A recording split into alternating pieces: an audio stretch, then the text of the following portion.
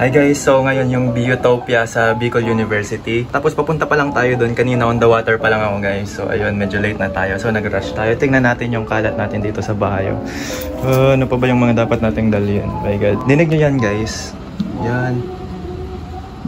Yan, nagsisigawan na. Nagsisimula na sa main. Tapos tayo nandito pa tayo. Kasi vlog pa Clifford. And guys, na-late ako kasi kagabi. Tinapos ko muna yung vlog ko na ano, first day of class. Wala akong tulog ngayon. So, bali 2 hours lang. Yan guys, nagsasapatos pa lang pala ako. So, ayan. Ito talaga yung mga dapat nating ilo forward ng events pag college tayo. Tapos, syempre, super excited tayo. Lalo na mga vloggers, guys. So, sana may mag-comment dyan na ano, mga BU vloggers. Sino kaya yung mga vloggers ngayon sa BU? So, sana mag-collab tayo soon. So, ayan. Kailangan nating i-document tong mga events na to, dapat wala tayong papalampasin. So for memories na din to para hindi natin makalimutan yung mga moments na ganito, mga core memory baga guys. Tapos ayan, syempre para pag matanda na tayo, may hindi lang natin maikwento sa mga apo natin, kundi makikita talaga nila yung buong pangyari, experience mo or POV. Guys, ano bang magandang i-content guys?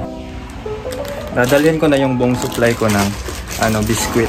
Hindi na ako mag-almusal guys, wala nang time. Pero di pwede baka may magalit na hindi tayo kumain. So doon na lang tayo kakain sa BU.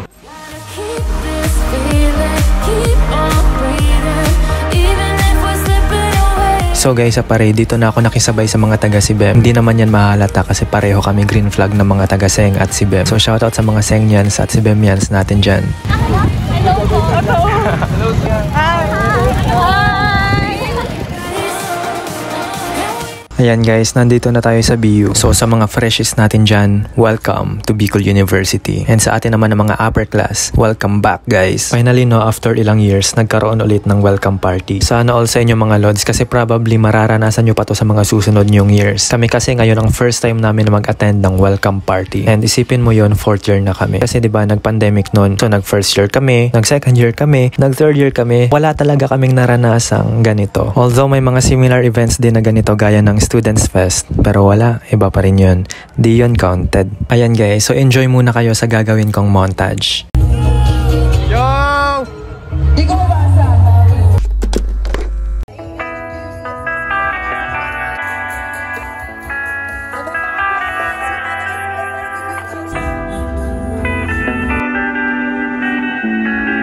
Tricks naman dyan! Life is harder than I like to think. But it's easy when you're by my side. No point in calling, you just have to see the fundamentals of our life tonight. Cause I've been looking at a photograph of you, and I've been thinking about all the ways you move. This isolation got me feeling like a mood, my love. Yeah,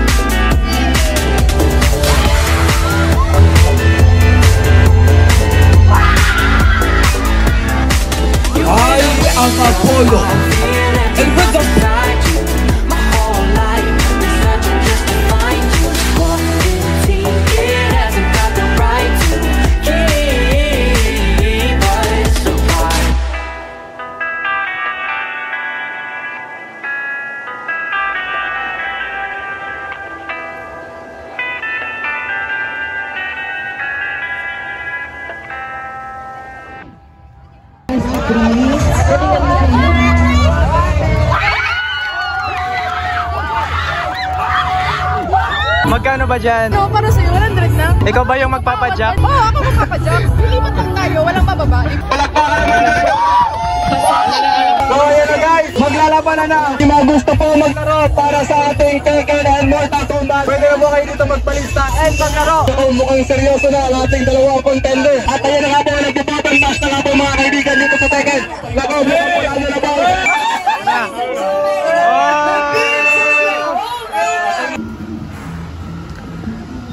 Yan guys. Umuwi ako para matulog. So ayun, babalik na tayo doon and 3pm na. And maya maya may concert doon. So let's go guys. Yan guys, on the way na tayo doon. Piwen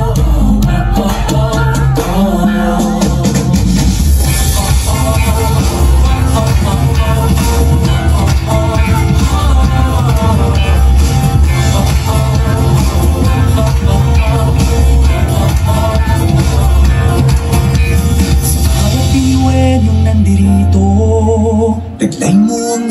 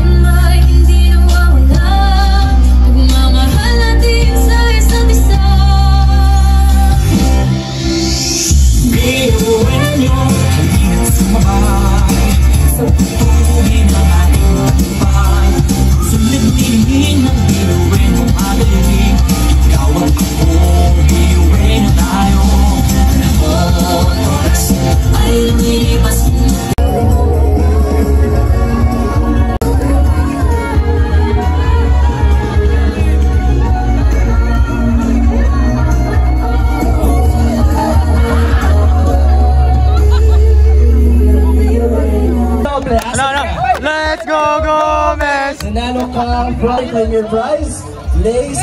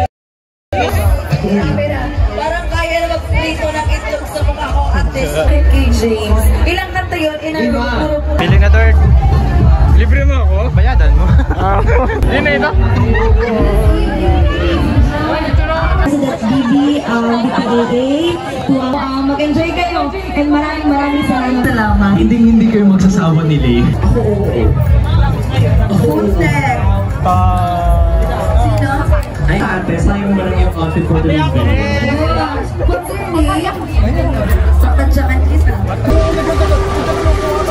Sa yellow kita.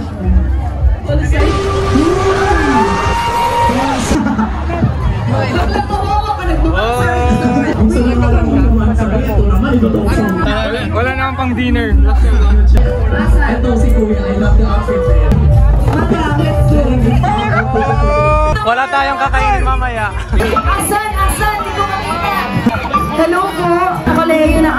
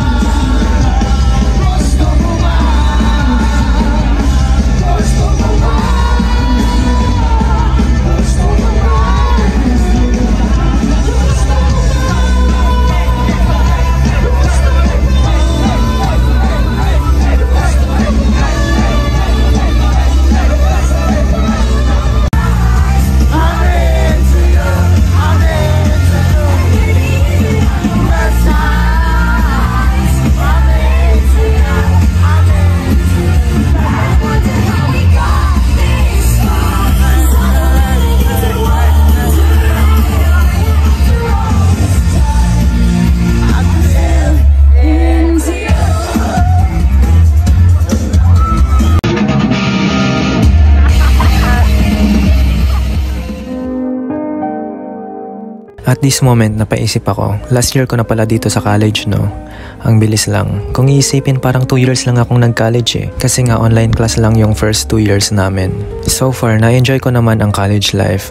Pero there's something in me pa talaga na may hinahanap ngayong college. Maybe it's a certain feeling, a moment, a place, a person, or an achievement.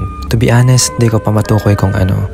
Siguro pag dumating na yan, malalaman na lang natin na yan na yung hinahanap nating experience. Anyway, ikaw, kumusta ang experience mo ngayong welcome party? And kumusta din yung experience mo as a college student? So gawin nating freedom wall yung comment section guys.